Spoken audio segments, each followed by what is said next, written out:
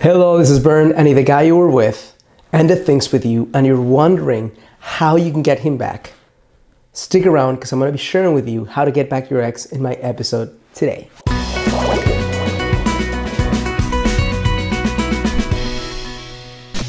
Hello, this is Bern. Welcome to your greatlifetv.com. Today is another episode of Ask Bern, where any of you amazing, beautiful women get to ask me a question on understanding men, how to create the relationship of your dreams, and anything in between. And I create a video response just for you. Today's question comes from three different women. That's why I'm not actually posting the name on my screen because three women at the same on the same week asked me, "How do I get back my ex?" And here's what I have to say about this, not before giving you a little rant.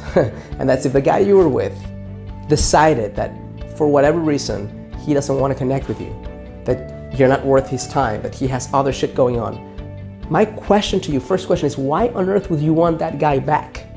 If he decided to end things with you and you're saying, love me, like me, I'm still worthy of your love, you're basically creating a lack of value in his eyes and in your own heart. So you're lowering your value, you're lowering your self worth, and it's incredibly painful. So the first thing I'll say is stop that insanity. I'm going to ask you step number one. On that long list of things, that list of requirements of what constitutes a soulmate, what constitutes your ideal guy, I'm going to ask you on top of that freaking list to add this requirement. He must choose me. He must want to be with me.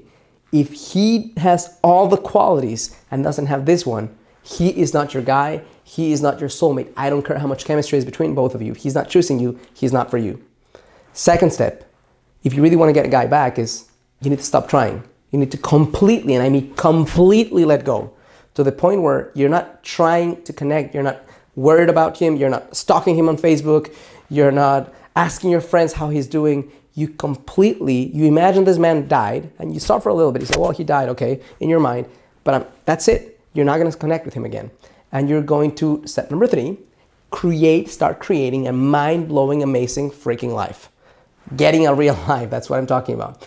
Connecting a life that you're in love with, creating the conditions in your life by doing things you love, by connecting to more human beings, by expressing yourself more fully, by engaging in your passions, you're going to create a life that not just you, but any human being would be in love with.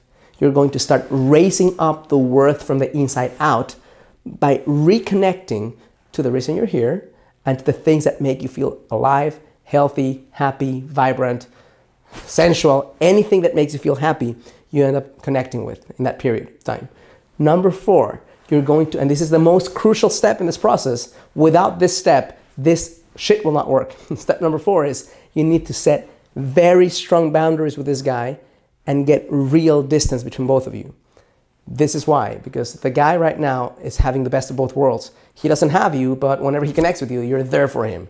Whenever he wants to see you, you are like, oh my God, let's see each other. And you're hoping that he gets back with you and he doesn't get back with you. So you're going to do a different strategy. You're going to say, you know what, right now, you don't want to be with me. I totally get it. I need space and time to heal for real. Connecting with you, even if it's one minute a week, it's hurting me. So I want you to step back and I want you to have the strength and the cojones to stay within yourself and not connect with me. And you're gonna set a time period. 60 days is ideal, but at the very minimum 30 days where he's not gonna connect with you. He might break his promise, but you are not going to engage with him. You are not going to give him time or space or anything. You're seriously going to give him 30 days to think about his decision.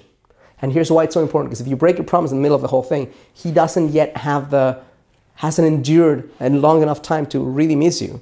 So you're going to set distance for two things to happen. Either A, he's going to really miss you and do whatever he can to try to connect with you. And then at the end of 30 days, you can say yes or no. Or you can start slowly. That's what would be my recommendation if you decide to do this. Do it slowly. Don't go from zero to 60 all in one day. But if he doesn't do that, if he chooses not to connect with you, if he chooses not to miss you, then you are already creating the life of your dreams. So that's why step number five is very, very important as well. It's connect with more men. As you set strong boundaries and you're getting the real space to heal from this man, and you're not connecting with him, not engaging with him, not stalking him, not thinking about him, or you might be thinking about him, but you're not letting, you're not connecting with him in any way, you're going to start connecting with more men. You're going to start creating friendships, you're going to start creating conversations, you're going to start creating aliveness with more guys to the point where you start feeling inside of you, not in your head, that there's abundance out there, that there's more guys out there as a possibility for you. I'm not saying you're going to feel like, oh my God, I want to marry this guy, but I still want, I do want you to feel like this is a guy that you can be friends with. That's at the level that I want you to connect with guys right now. If you do that, step number six is something will happen. He will either come back or not come back. If he comes back, take it slow and decide for you what's going to assure you that this guy is not going to do the same stupid thing again, where he's dissing you for something else. Uh, and then when you feel like he's done the right thing and that he's really connected with you and he really wants to make this happen, then you reconnect with him slowly again. If he doesn't come back, you're already connecting with guys, you're already creating a life of your dreams, you're already falling in love with yourself again, and you have an amazing life regardless. The whole point of this whole thing is at the end of this process, whether he connects back with you or not becomes almost irrelevant.